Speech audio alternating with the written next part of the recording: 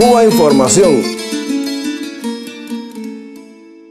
No me digan más mentiroso, no me digan más, no me digan más. Nos aseguran que en Cuba no hay libertad de prensa. Allí los medios no dan espacio a opiniones diversas, nos dice, por ejemplo, la prensa española. Ahora veamos qué espacio a las opiniones diversas ofrece esta prensa española, repasando, por ejemplo, su cobertura sobre la muerte de Fidel Castro.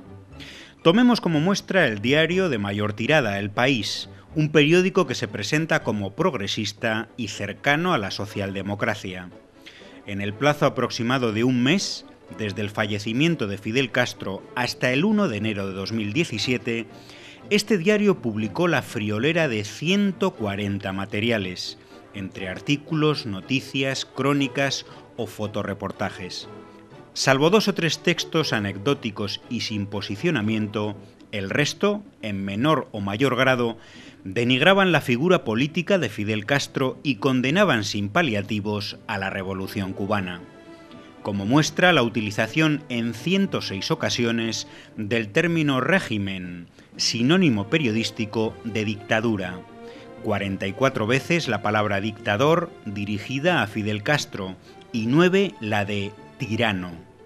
La beligerancia del país contra el líder cubano destacaba en dos géneros periodísticos, en 42 artículos de opinión y en cuatro entrevistas.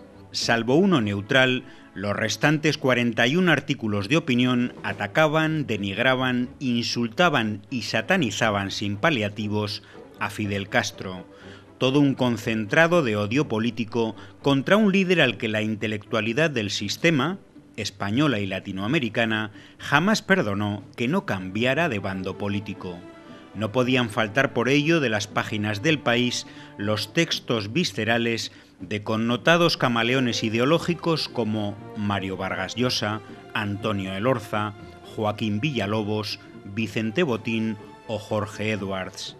Las entrevistas también eran prueba de lo que el país entiende por pluralidad de visiones.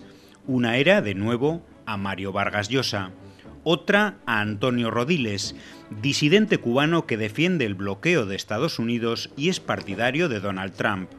La tercera era una entrevista coral a siete escritores durante la Feria del Libro de Guadalajara, México, que como una sola voz condenaban sin fisuras a Fidel, incluyendo otra vez más a Mario Vargas Llosa. Y por último, una entrevista a dos narradores cubanos de la isla que sin criticar a Fidel transmitían el mismo mensaje desesperanzado sobre el futuro de la revolución. Conclusión el diario español de mayor tirada, que se dice progresista, publicaba en un mes 140 textos atacando a Cuba y a Fidel Castro, entre ellos 42 artículos de opinión.